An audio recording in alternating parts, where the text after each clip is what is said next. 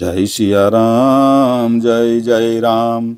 गई मूर्छा राम, ही सुमिर नृप फिर कर वटलीन। सचिव राम आगमन कही, विनय समय समकीन इतने में राजा की मूर्छा दूर हुई।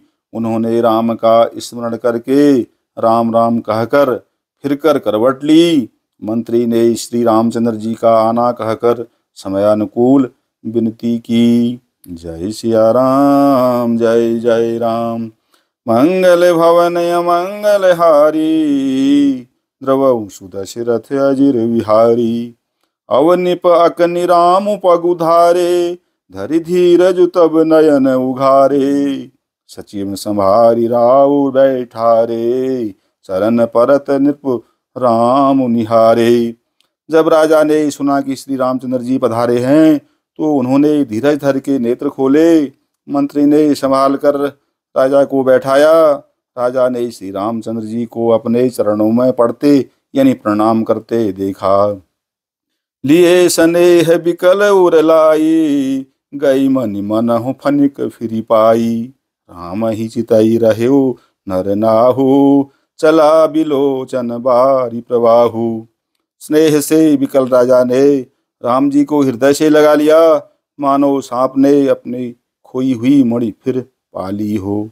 राजा दशरथ जी श्री रामचंद्र जी को देखते ही रह गए। उनके नेत्रों से आंसुओं की धारा बह चली। शोक विवश कछु कहे न पारा। हृदय लगावत बारही बारा। विधि ही मनाव राव मन माही। जही रघुनाथ न कान न जाही। शोक के विशेष बस होने के कारण राजा कुछ कह नहीं सकते। वे बार बार श्री रामचंद्र जी को हृदय से लगाते हैं और मन में ब्रह्मा जी को मनाते हैं कि जिससे श्री रघुनाथ जी वन को न जाएँ।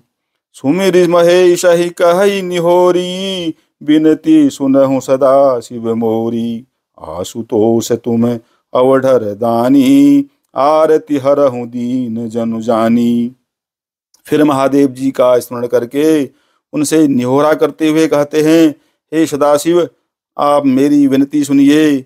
आप आशुतोष यानी शीघ्र प्रसन्न होने वाले और औढ़रस दानी मुँह मांगा दे डालने वाले हैं। अतः मुझे अपना दीन सेवक जानकर मेरे दुख को दूर कीजिए। तुम प्रेरक सबके हृदय सोमति राम ही देहु। बचनु मोर तज रही घर परिहरिशीलु सनेहु। आप प्रेम रूप से सबके हृदय में हैं। आप श्री रामचंद्र जी को ऐसी बुद्धि दीजिए, जिससे वे मेरे वचन को त्याग कर और शील स्नेह को छोड़कर घर ही में रह जाएँ। जय सिया राम, जय जय राम। मंगल भवन मंगल हारी, द्रव सुदशरथ अजिर बिहारी। अजसु हो जग सुजसु नसाऊ, नरक परों बरु सुरपुर जाऊँ, सब दुख दुसह सहावहु मोही, लोचन ओट राम जन हो ही जगत में चाहे अपयस हो और सुयस नष्ट हो जाए, चाहे नया पाप होने से मैं नरक में गिरूं अथवा स्वर्ग चला जाऊँ, पूर्व पुड़ियों के फलस्वरूप मिलने वाला स्वर्ग चाहे मुझे न मिले और भी सब प्रकार के दुसह दुख आप मुझसे सहन करा लें, पर श्री रामचंद्र मेरी आँखों की ओट न हो। असमन गुनई राव नहीं बोला, पी पर पात सरिस मनु डोला। रघुपति पित ही प्रेम बस जानी पुण्य कछु कही माँ तू अनुमानी। राजा मन ही मन इस प्रकार विचार कर रहे हैं, बोलते नहीं उनका मन पीपल के पत्ते की तरह डोल रहा है। श्री रघुनाथ जी ने पिता को प्रेम के बस जानकर और यह अनुमान करके कि माता फिर कुछ कहेगी तो पिताजी को दुख होगा। देश काल अवसर अनुसारी, बोले बचन विनीत बिचारी तात कहूँ कछु करऊँ ढिठाई, अनुचित क्षमब जानी लरिकाई। देश काल और अवसर के अनुकूल विचार कर विनीत वचन कहे, हे ना, हे तात, मैं कुछ कहता हूँ, यह ढिटाई करता हूँ। इस अनौचित्य को मेरी बाल अवस्था समझकर क्षमा कीजिएगा। अति लघु बात लागी दुख पावा, काहुन मोहि कही प्रथम जनावा। देखी गोसाई पूछी माता, सुनि प्रसंग भय शीतल गाता।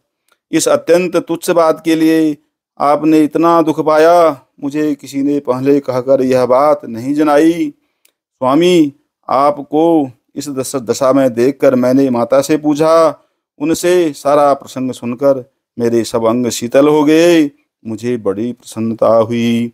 मंगल समय स्नेह बस, सोच परिहरियतात, आयसु दे हर्षि कहीं पुल के प्रभुगात। हे पिताजी, इस मंगल के समय स्नेह बस होकर सोच करना छोड़ दीजिए और हृदय में प्रसन्न होकर मुझे आज्ञा दीजिए। यह कहते हुए प्रभु श्री रामचंद्र जी सर्वांग पुलकित हो थे।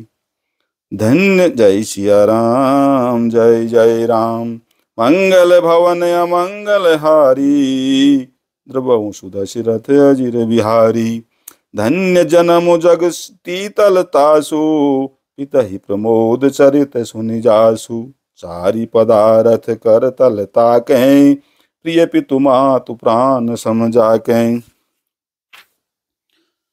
उन्होंने फिर कहा, इस पृथ्वी तल पर उसका जन्म धन्य है, जिसके चरित्र सुनकर पिता को परम आनंद हो, जिसको माता पिता प्राणों के समान प्रिय हैं। चारों पदार्थ, यानी अर्थ, धर्म, काम, मोक्ष उसके कर तलगत यानी मुट्ठी में रहते हैं।